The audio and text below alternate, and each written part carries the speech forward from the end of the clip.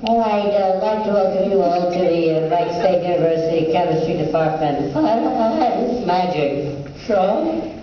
Um, As you can tell, the uh, gas I just breathed in uh, does interesting things to my voice. I'll explain that in a moment. They uh, also tell me that it does interesting things to uh, other parts of me, but uh, I don't talk about that. The gas that's in this balloon is uh, helium gas. It's uh, very light. It's a noble, rare, or inert gas. It's about one-seventh the density of air, so it's very light. If I have a gas next to my vocal cords that's much less dense than the density of air, what happens is my vocal cords just vibrate a lot faster. And the pitch goes up. The gas that we had in the balloons that we exploded at the beginning of the show, and we'll also do this at the end of the show, is hydrogen gas, 1 14th the density of air, highly reactive, highly flammable, and of course that's not something I would breathe in.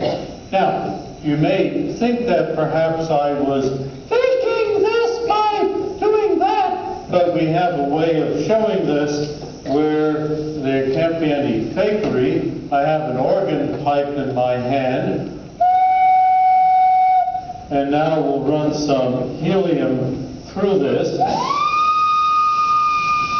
And you can hear that the tone of the pitch went up there.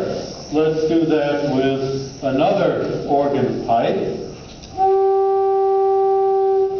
And now helium gas through that.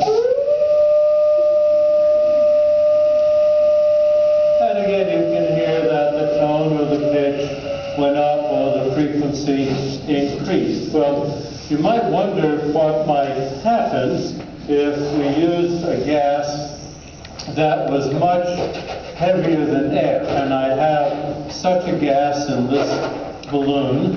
This is sulfur hexafluoride, SF6. It's about four times the density of air, but there are health reasons why I will not breathe this gas in. So let's uh, do the organ pipe test again. And now we'll try the sulfur hexafluoride. And you can hear that the pitch of the tone changed there. Well, let's try that with the other organ pipe.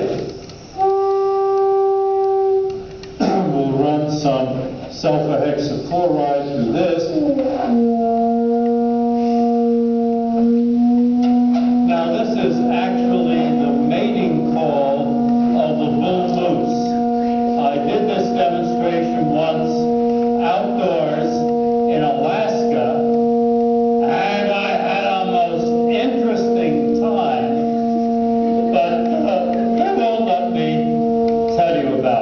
So thank you. We'll uh, take this off.